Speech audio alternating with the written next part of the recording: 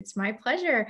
So, give our listeners a little bit of information about you and your background connection to dentistry, and um, and how you got to be in the position that you're in today.